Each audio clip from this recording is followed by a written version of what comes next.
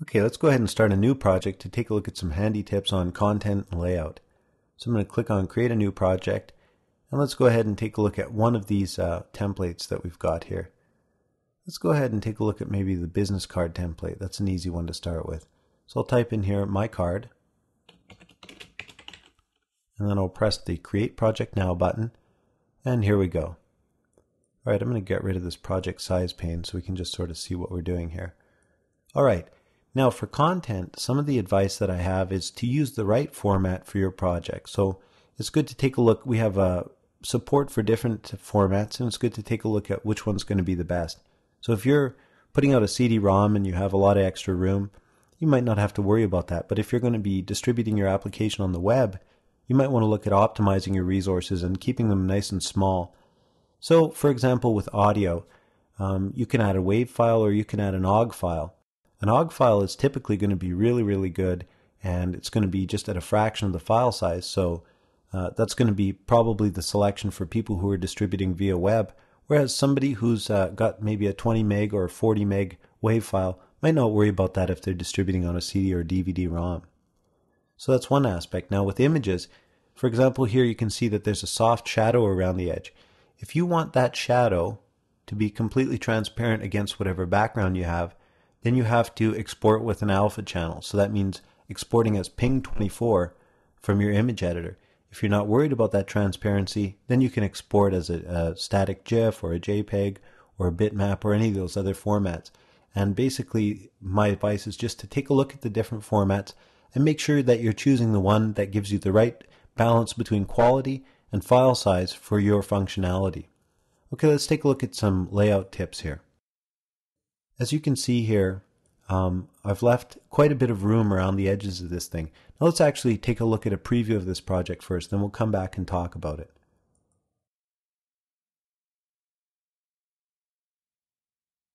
Okay, there we go. So this is what the project looks like when it runs.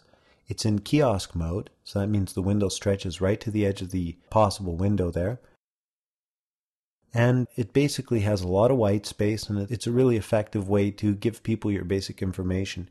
Now, some of the content tips I have here are to leave enough room around the edges of things, and that goes for every application. Always leave a bunch of room and gaps between things to make them nice and readable, and you can still make them tie together by laying them out properly, but at the same time, give them a little bit of breathing room.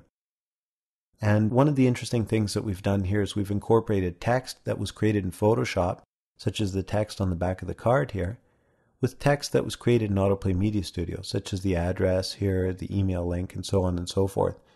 So it's kind of neat. You, you don't really see the line uh, between the two. But some of the, let's go ahead and exit this and go back to Autoplay Media Studio. Some of the things we did here to increase the effectiveness of the layout was to keep those gaps. So for example, if I size this text up a bit here and move it back, you can see it's not as effective. It, it tends to encroach here on the, the web link. So I'm going to go ahead and move it back. Just undo that. And we've left nice gaps between everything here so that each element has a chance to, um, you know, do what it has to do without being uh, crowded by other elements. And in addition to that, we've also used color to delineate some of the layout elements here.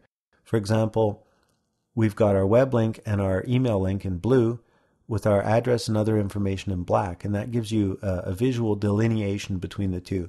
So those are some of the effective layout techniques we've used here. Another thing we've done is we've angled the card in the back here. So what we've done is kind of made it so that it's not drawing your attention quite as quickly as the front part here. So you still read this back part, but your eye is drawn to this front part first. So you might want to use that, which is Z order, they call that, front to back order, and maybe fade out some of the text in the back, so on and so forth, using these little visual clues to add depth to your project. I don't want to get too aesthetic. Those are some basics of how you can really optimize the content and layout of your projects. If you have any specific questions on this stuff, meet us in the forum and we'll be happy to help you out anytime. The templates that come with Autoplay Media Studio, let's take another quick look at those are really effectively laying out. So they're a great place to come for layout advice and to sort of, uh, even if you don't want to use those templates as they are, uh, to use as a basic building block for something of your own. So, for example, the corporate template here I'll just type corporate. Has a, a certain style to it, and if you want to apply that same style, expand our workspace, there we go. If you'd like to apply that same style to your project, you might want to come in here and just use this as a guide to build your own project off. We've used a variety of different aspects here. For example, we've uh, uh, we've got some transparent imagery, we've got some color against the black there for drama, for contrast. We've got some rotated text here. We've got these button objects that we made in Photoshop, and so on and so forth. So anyway, that's some effective tips on content and layout. I hope you enjoyed that video. Let's go ahead and go on to the next lesson now.